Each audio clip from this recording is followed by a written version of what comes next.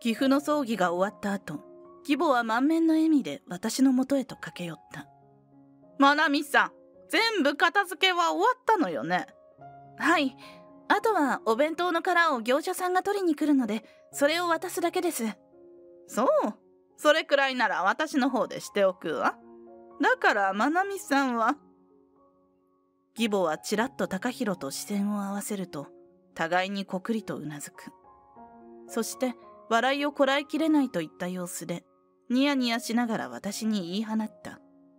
もう用済み。出てけ。家政婦は離婚して出てけ。私は小さく息を吐くとあえて残念そうにうつむいた。そのまま諦めたようにうなずく。分かった。すべて計画通り。親子はわーっと湧き立ち高弘はいそいそと離婚届を取り出した。ほら今すぐさっさと書け。後でとぼけられちゃたまらないからな。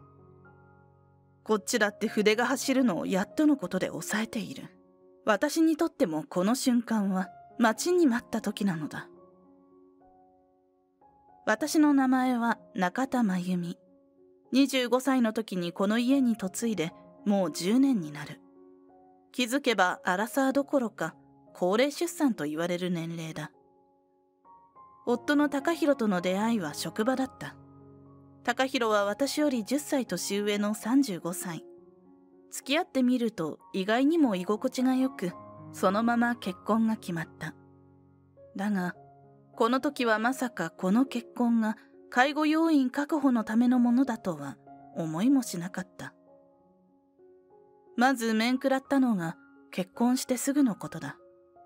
当初は高弘とアパートを探す予定だったが高弘は悪びれることなく私に言った。家賃もったいないしさ実家で同居しようよ。はいこれ決定。話が違う。私は慌てて抗議した。え？でも私たち新婚なんだし最初から同居はちょっと。いやいや新婚とか関係ないって俺の両親のためにも同居してくれよ。両親？なんで？だってうちの親父要介護だから。人手はいくらあってもいいだろう。これまた私にとっては初耳情報だ。あれ？でも前にご挨拶した時お元気そうに見えたけど。あの頃はちょっと足が悪いだけだったからな。パッと見くらいじゃわからなかったんだろうヘラヘラと笑いながら言う高弘どうやらその後事故で足を痛めてさらに悪化し歩くのが困難になってしまったようだ。岐阜はこの結婚当時すでに75歳。確かに高齢ではある。体に不自由なところがあっても不思議ではない。義両親は年の差婚な上に晩婚のため高弘が生まれた時点で岐阜は40歳を迎えていたそうだ。結婚相手の親の年齢なんて気にしたこともなかった。でもまさか25歳が35歳のところに嫁いでみたら突然75歳の介護を迫られるなんて。こんなことなら親の年齢も気にすべきだったかもしれない。しかも高弘は戸惑う私に追い打ちをかけるように告げた。そういうわけだからこれからは衣食住は保証する。その代わりまなみは早いとこ仕事を辞めてこいよ。え？でも私結婚しても仕事を辞めるつもりはないって言ったよね。結婚前に話し合ったはずだ。子供ができたならともかく妊娠するまでは今まで通りに仕事を続けたいと。高弘もこれを了承してくれていたはず。え？そんなこと言ってたっけ？うんでもさ介護しながら仕事って現実問題無理だろ？場合によっちゃ夜寝られないことも多いらしいしお前のためにもやめた方がいいって。この口ぶりから完全に全てを押し付ける気でいるのが分かった。嫌だ。聞いていた話と違う。それならもう結婚は白紙にしたい。なんなら離婚してバツイチになってもいい。心の中には本音がポンポン浮かんでくるが、なぜだか口には出せない。昔から私は八方美人で自分の意見を言うのが苦手だった。そのため今も本当は介護要員なんて絶対に嫌なのにそれを拒否する冷たい人だと思われたくなくてこうして言いよどんでいる。そんな中義母は満面の笑みだった。若い子が嫁に来てくれてラッキーだわ。高齢の私じゃお父さんの介護は無理だもの。かといって高弘は仕事が忙しいしね。まなみさんあなたが家事と介護をこなして我が家を支えてね。期待してるから。任せてくださいとも言えず。私はただ曖昧に笑うしかなかった。以前結婚の挨拶をした時にはハキハキとしたざっくばらんないい人だと思っていた。だが実際に話してみてだんだんと義母の本性に気づく。この人は周りを自分の使用人だと思っているタイプだ。結局離婚して逃げる決心もできず義実家で私の新婚生活が始まった。高弘からは介護と家事と仕事を両立させられるなら仕事を辞める必要はないと言われたがそんなことできるわけがなく私は早々に退職した。義実家で過ごしているうちに嫁としての新婚生活というよりもまるで家政婦のような生活だと理解する。朝は誰よりも早く起きて夜は誰よりも遅く寝る。岐阜が夜中にトイレを必要とすれば何時だろうと付き添った。また、義母は味や食事の栄養に細かく、手を抜けばチクチクと嫌味が飛んでくる。まなみさん、あなたもしかしてお料理の勉強とかしたことないの？それとも私たちが邪魔だからあえてこんな濃いめにしてる？すすみません次からは気をつけます料理の経験は人並みだと思うしレシピ本通りに作っているはずなのに義母の好みじゃなければ評価されない。ダメだ。仕事よりもずっとしんどい。頼みの高弘はかばうどころかゲームやスマホばかりで我関せず。私は一体何で結婚してしまったのか分からずにいた。これで子供でもできていたらまだ違う環境になっていたのだろうか。いやきっと子育てと介護を押し付けられるだけだ。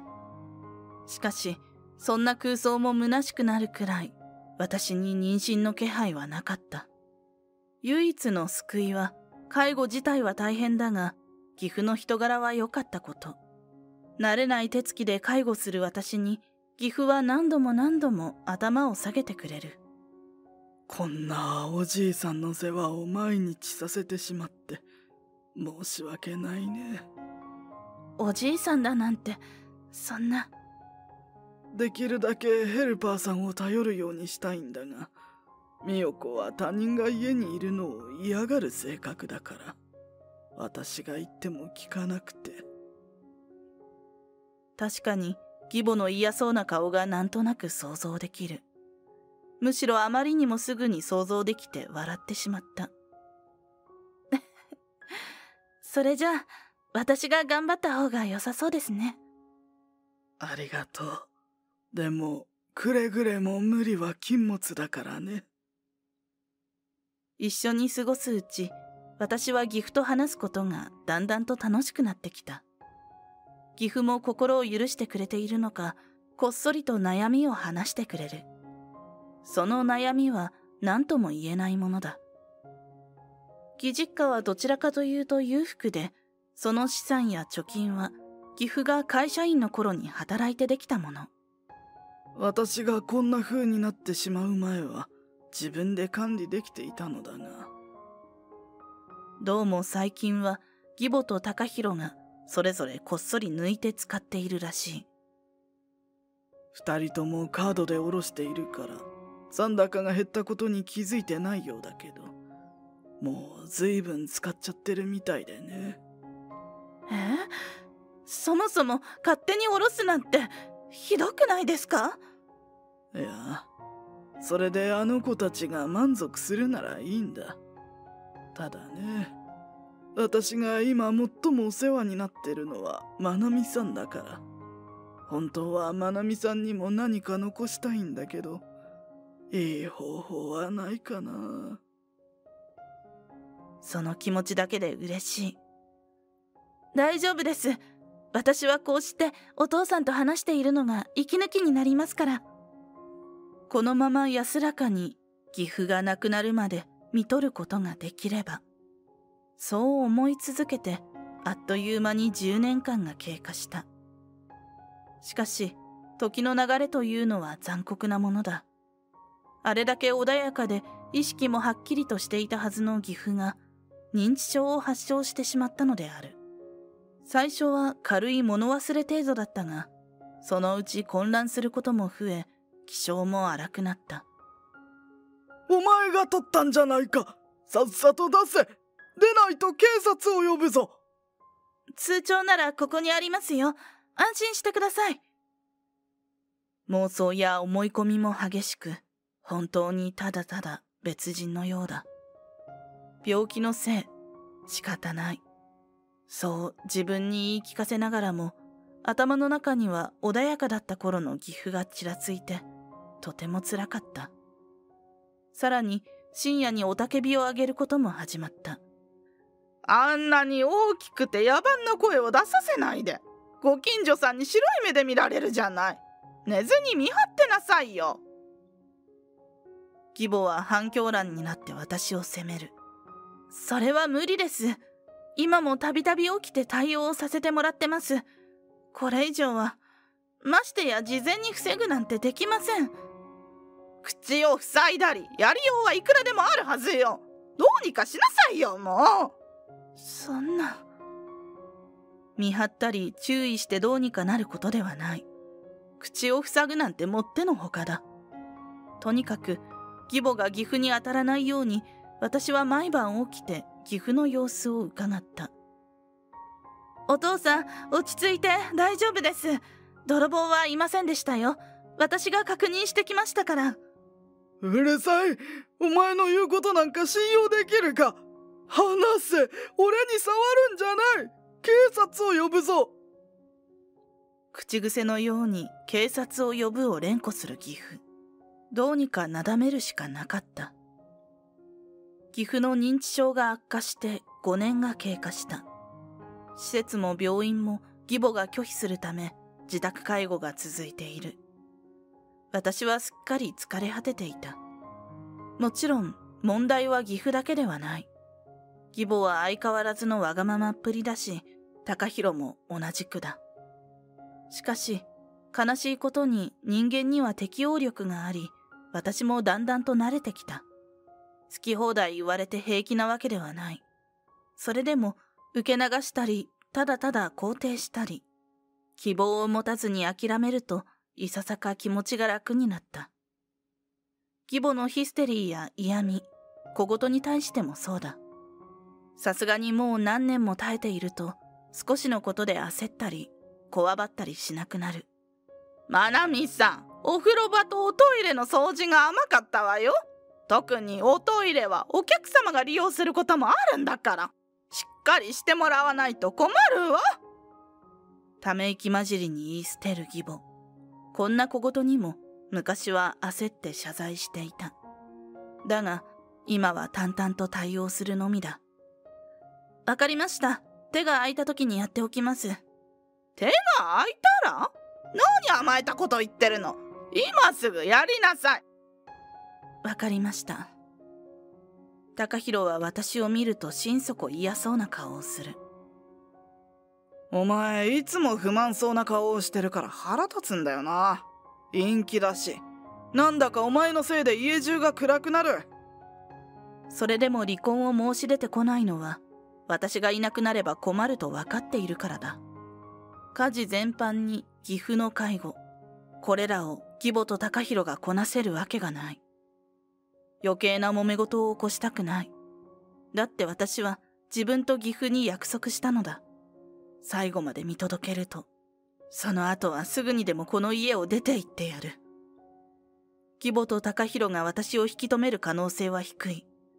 岐阜がいなくなれば私もお払い箱のはずだ。彼らが好むのは昔の私のようにおろおろして機嫌を伺い素直に言うことを聞く者今の私のように何のリアクションもせず淡々と対応する者は痛めつけても楽しくないからだ。嫌味を言われても平然としていること。それが彼らにとって一番面白くないはずなのだ。結婚は自分で決めたので後悔はないが時々両親のことを思うと胸が締め付けられた。幸せになるために嫁に行ったはずの娘がこんな扱いを受けているなんて思いもしないだろう。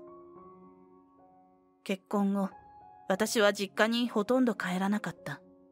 岐阜を置いて帰れなかったのだ。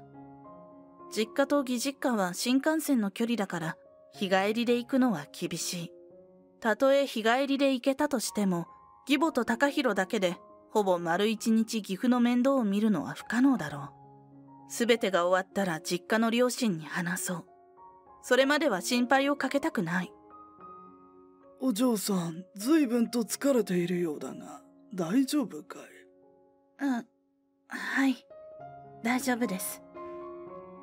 岐阜は私のことを忘れてしまう時間の方が多くなった。しかし妄想に取りつかれていない状態の岐阜は以前のようにとても穏やかだ。そうかい無理をしてはいけないよ。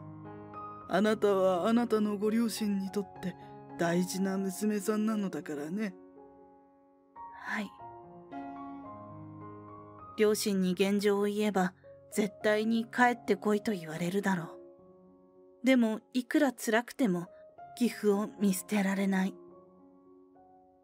最後まで見守りますね。ありがとう訳も分からずに礼を言う岐阜はとても岐阜らしいのになんだか悲しかった。そしてついにその日は来た。とうとう岐阜が亡くなったのだ。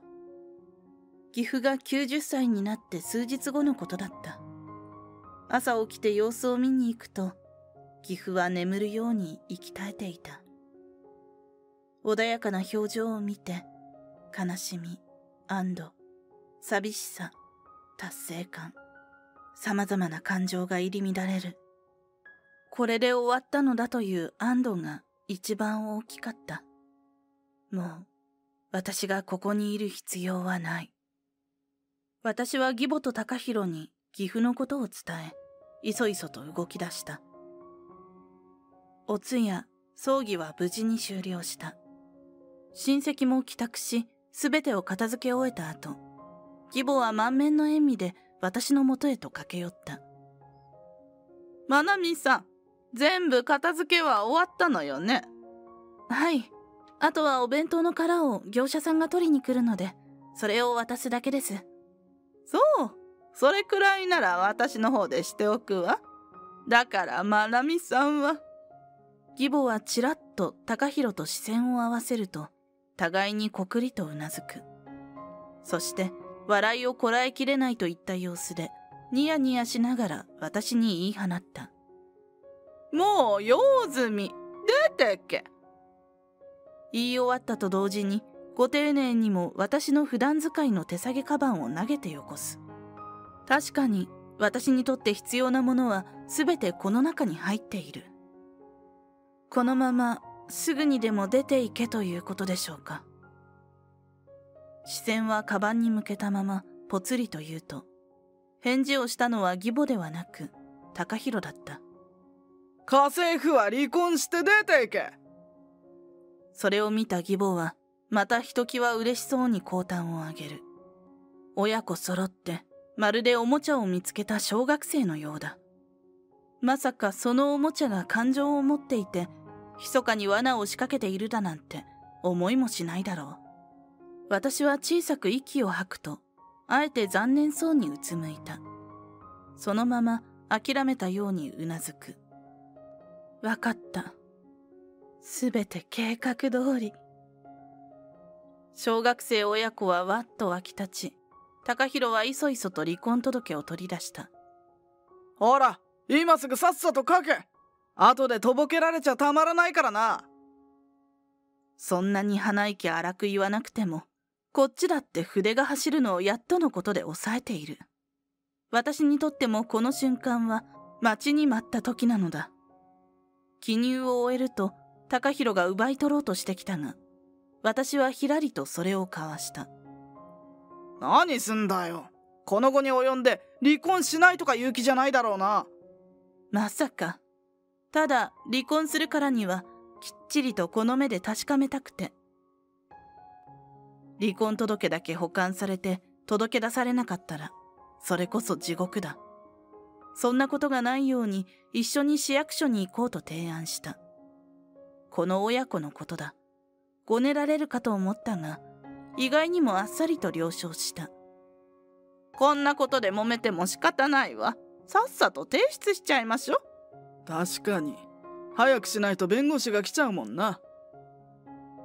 遺産相続遺言書について話すらしい。昔からこの家の資産管理は専属の弁護士に任せているそうだ。この話し合いに私を参加させたくないからさっさと追い出そうとしているのだろう。喪服の3人組が窓口に来たものだから市役所の人は戸惑っていたが離婚届はあっさりと受理された。これであなたとは他人ね。うわ15年間長かったな。これで俺も独身だ。親父の遺産も入るし未来は明るいな。早く帰って橋本さんを出迎える準備をしなきゃね。ああまぬみさんはもうここでさよならだから。タクシーかなんか呼んで自分で帰ってちょうだい。意地でも私を遺産相続の話し合いの場に出させたくないのだろう。そんなことしなくてもこちらだって出る気はない。では礼をして頭を上げるとすでに高弘親子は車に乗り込むところだった。別れを惜しむ気はこれっぽっちもないが最後まで失礼な親子だ。お父さんどうかお元気で。義実家の方角にそっと手を合わせて拝むと私は実家に離婚報告の電話をかけた。新幹線を降りて一息つき改札を出ると晴れ晴れとした様子の母がこちらに手を振っていた。離婚おめでとうまなみそのセリフと表情があまりにも合わないものだから思わず笑ってしまう。ありがとう。父は車で待っていてくれたがこれまた私の顔を見るなり離婚おめでとうとはつらつという。よく頑張ったな。まなみは私たちの自慢の娘だ。ほんとね。よく帰ってきてくれたわ。変に縛られないで本当によかった。それからも両親はひたすら私を褒めたたえる。両親にこれまでの結婚生活について全部はとても話せなかった。それでも親の勘か何か察しているのだろう離婚して帰ってきた42歳の娘をこれでもかと励ます。二人の温かさと気遣いに安堵した私は駅から家までの数分間ですっかり眠ってしまった。帰宅後もまるでお客様のようなおもてなしだ。お風呂は一番風呂。テーブルに並ぶのは私の好物ばかり。それこそなんだか申し訳なくなってしまうほど。ありがとう。お父さんお母さん。甘やかすのは今日までだからな。そうよ。明日から仕事探し。無職に食べさせるご飯はないからね。久しぶりの温かいご飯。3人で笑いながら食べる食事はそれはもう美味しかった。夜に起こされることなく朝を迎えたのも久しぶりだ。ぐーっと伸びをして枕元のスマホを見る爽やかな朝を邪魔する名前がそこには並んでいた。マナーモードにしていたから気づかなかったが早朝に義母から大量の着信があった。一番早いものは5時過ぎ。ご自分が早く起きるのは構わないが他人に連絡していい時間ではない。義母は相変わらず常識を逸脱している。世界は自分を中心に回っているとでも思っているのだろう。電話をかけてきた理由は大体見当がつくが、わざわざこんな早朝にかけ直す義理もない。スマホをベッドに置いたまま、私は1階へと降りた。母はすでに台所に立ち、朝食作りをしていた。義母の電話のことを言うべきだろうか。悩んでいると家の電話が鳴り響く。え？まさか。時計を見ればまだ7時過ぎだ。いくら義母でもこんな時間に元嫁の実家に電話はかけないだろう。そう思ったが、私の認識が甘かった。電話に出た父の顔が歪む。会話までは聞こえないが、不快な電話であることは確かだ。5分ほど会話した後、父は電話を切った。お父さん、もしかして。父はゆっくりとうなずく。義母は開口一番、嫁に話がある。とにかく嫁を出せとわめいていたらしい。父が、もう娘は離婚して家に戻った。そちらさんとは他人だ。嫁呼ばわりしないでくださいと言ったが、義母は聞く耳を持たなかったそうだ。すごい剣幕でな。こちらが丁寧に何を言っても無駄だった。あまりにもしつこいから、そのまま切って電話線も抜いておいた。ケラケラと笑って言う父は頼もしい。だが、義母にはこちらの常識が通じない。案の定、朝食を終えてスマホを見ると、何十件もの着信が追加されていた。恐ろしいくらい必死ね。おそらくあのことに気づいたのだろう。このままじゃ実家に乗り込んでくる勢いだ。どうしたものかと考えていると、手の中でスマホが鳴り響いた。乗り込まれて両親に迷惑をかけるくらいなら、こちらから話し合いの場を指定した方がましだ。私は念のため通話の録音アプリを準備して深呼吸をすると電話に出た。やっと出たわね。まったく。あれだけかけてやってるんだから普通ならかけ直すでしょ。失礼だと思わないの？実家にかけても話が通じないしどうなってるのあなたの家は。親子で常識を学び直した方がいいわよ。相変わらずのキーキー声だ。耳どころか頭の奥までキンキン響く。その上自分のことは棚に上げてこちらが世間知らずのように責めてくる。私からしてみれば他人に朝5時から電話をかける方が常識知らずだと思いますけど。あなた。まさか反論されるとは思わなかったようだ。思えば結婚生活の間私自身いつも否定されるものだからいつしか意見することすら諦めていた。そんな私が嫌味を込めて返してくるなんて予想外だったのだろう。義母が電話の向こうで絶句している姿が浮かぶ。た他人って何言ってるの？昨日まで嫁だったくせに。ほら今ご自分でおっしゃってるじゃないですか。昨日まで嫁だった。もう離婚届を出したんですから今は他人でしょ？へりくつばかり言って何なのあなた。感じが悪い。そちらが先に失礼なことばかり言ってくるからです。言われ慣れてないので驚いているようですがあなたはこれ以上のことを日常的に私に言ってましたよ嫁だからというのが義母の言い分だろうが嫁に対してなら何をしてもいいわけがない私だって人間だ。感情がある。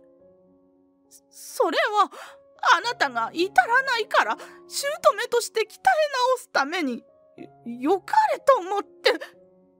よかれと思って、お父さんの介護を私だけに押し付けたり、家事をすべて丸投げしたりしてたんですか？鍛え直すなら、もっと違うやり方があると思いますけど。は、あなた、本当にまなみさん？別人じゃないの？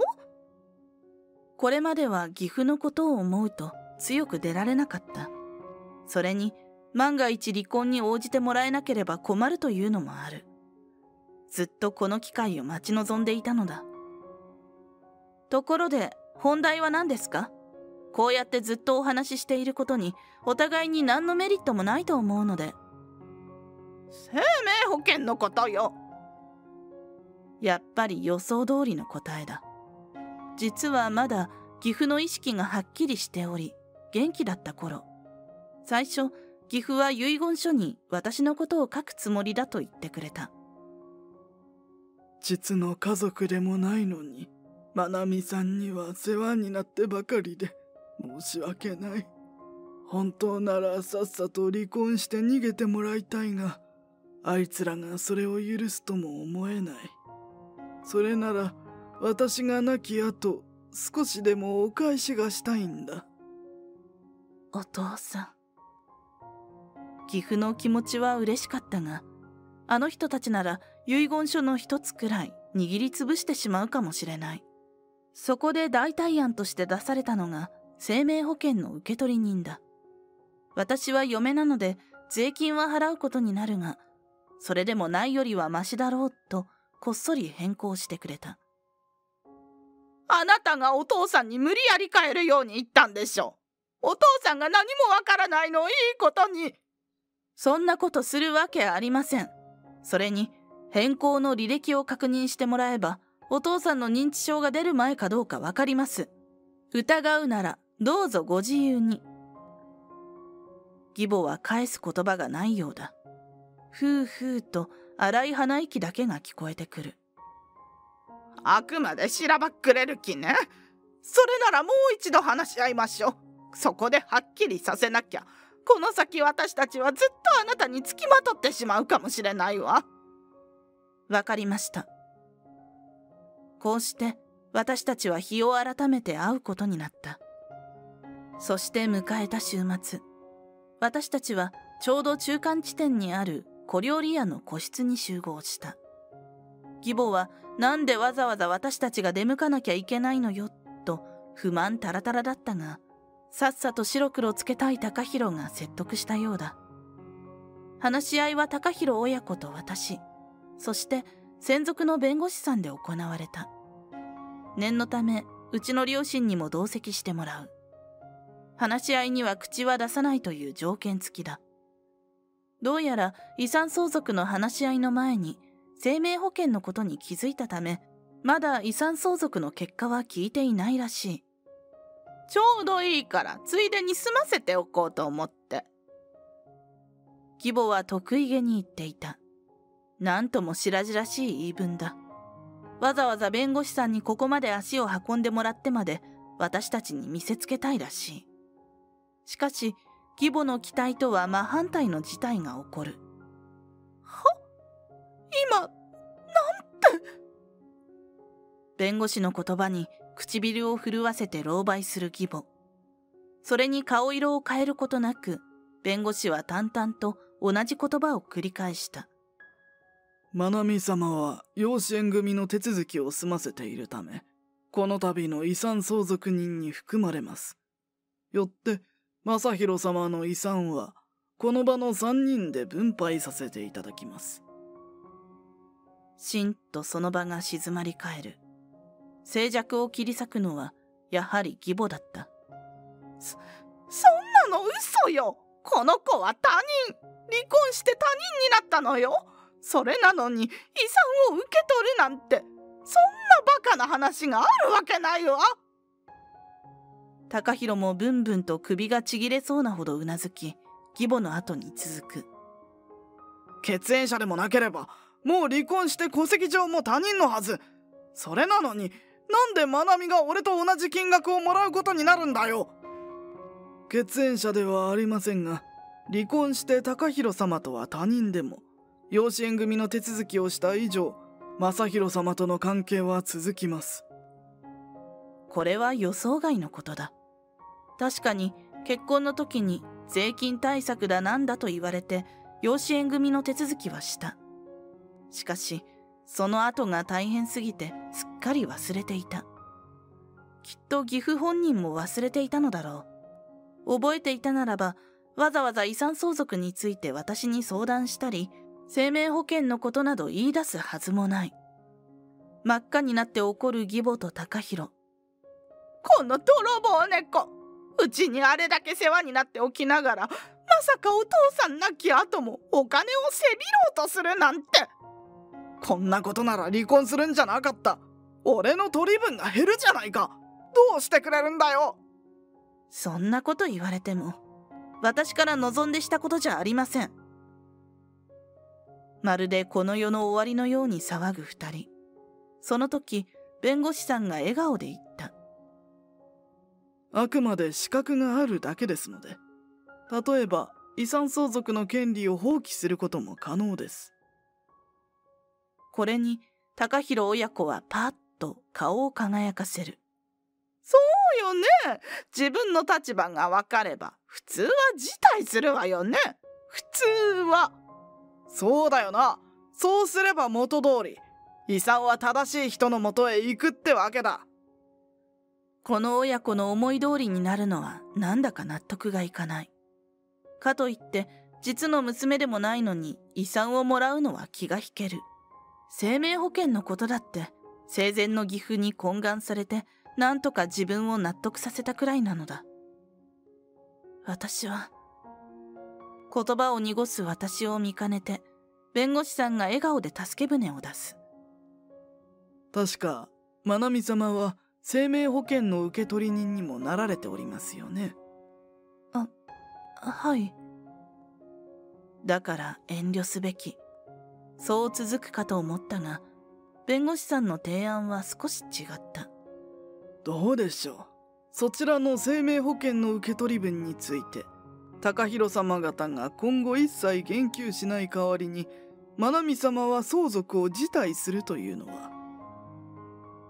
さらに弁護士さんはスラスラと述べる。ついでと言ってはなんですが今後のことを考えると養子縁組の解消もしておいた方がよろしいかと。要するに私は遺産相続分を放棄して養子縁組も解消し本当の他人に戻るその代わり私が受け取る生命保険分に高弘親子は口出ししない。これなら私は岐阜の意思で譲り受けたものだけもらうことができる。はい。私はそれがいいです。義母と高弘も一瞬躊躇したものの了承した。ではあとはこちらでお話を進めますので。愛美様はどうぞご帰宅ください。お気をつけて。店の外まで送ってくれた弁護士さんはこっそりと私に名刺を手渡す。手続きのためまた後日連絡させていただきますので。どうぞよろしくお願いいたします。こちらこそおかげで助かりました。こうしてやっと私と中田家との関係は完全に終わった。だがなんとこの話にはまだ続きがあるのだ岐阜の遺産に期待をしていた高弘親子だったが実際岐阜にはほぼ遺産は残っていなかった。高弘と義母がこっそり少しずつ使ってしまっていたからだ。まさかお互いが同じように使っていたとは思いもせず勝手に期待していたのだから救いようがない。しかも遺産を期待して別のところで借金をし相当使い込んでいたそうで相続分ではとても返せず今や義母はパートの掛け持ち。高弘は副業としてコンビニでアルバイトを始めたとか。働くことに慣れていない義母は少し注意されては感触を起こしクレームが入っては落ち込んで常に情緒不安定だそう。高弘はそんな義母と暮らしているためフォローをしなければならない。ただでさえ仕事と副業で疲れているのに帰宅すれば義母からのマシンガントーク。さらにそれに加えて家事もこなしているため精神的にも身体的にもすっかり参っているらしい。泣きながら私に電話しようとしたところを弁護士さんが止めたそうだ。そう。これはすべて弁護士さんから聞いた近況だった。あの後私のもとに弁護士さんから連絡が入りすべて教えてくれた。正弘様とはもともと昔からの友人だったんです。立場上美代子様には内緒にしてましたけどね。友人という関係性ゆえに岐阜とはよく連絡を取っていたそうだ。まなみ様には本当に感謝してましたよ。晩年は認知症のため相当大変だったでしょう。よく逃げ出そうと思いませんでしたね。はい辛かったです。でもそれまでの思い出もありましたし何より最後まで見ようと決めたのは私ですから。生命保険のことを提案したのも弁護士さんだったという。財産は身内に食い尽くされる可能性がある。しかし生命保険なら保険料を払っている限り必ず金額が保証されるからだと。正宏は幸せ者でした。その言葉に私も救われた気がした。今私は実家でお世話になり両親もまだまだ健在だ。だがいつまたあんな状況になるかわからない。実親と疑心で違いもあるだろう。しかし少なくとも岐阜を最後まで見送れたという事実は私の中の自信となった。親孝行が伝わるうちに両親に恩返しをしていこうと思う。